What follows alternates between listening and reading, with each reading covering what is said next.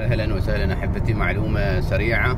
كيف تلغي لمبة ال fuel low؟ طبعا ال fuel low تظهر أحيانا لما يكون المؤشر على قرب الربع. تظهر عندك ال fuel low.